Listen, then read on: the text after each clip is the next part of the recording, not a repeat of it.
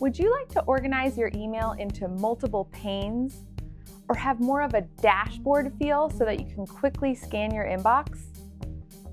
Want to see emails where you have actions separate from emails that you just need to read, both separate from your incoming inbox? Set up multiple inboxes in Gmail in one easy step. I'm Laura Mae Martin, Google's Productivity Advisor, here to show you how to work your space in Google Workspace.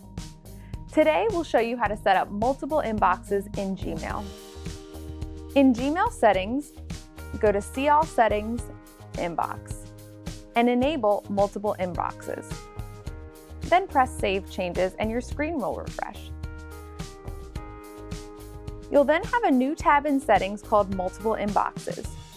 From there, you can customize what to show in those panes with Gmail searches like label is to do or from person at gmail.com. And where those panes show, you can also choose like above or below your main inbox. Press Save Changes. You should now see emails that fit those searches in those inboxes. When you archive an email from your main inbox, it will stay in the multiple inbox pane as long as it still fits within that search. You can even adjust the inbox pane size. So there you have it. Use multiple inboxes in Gmail in one easy step. If you have any questions about this tip, leave them in the YouTube comments below. Looking for more tips just like this?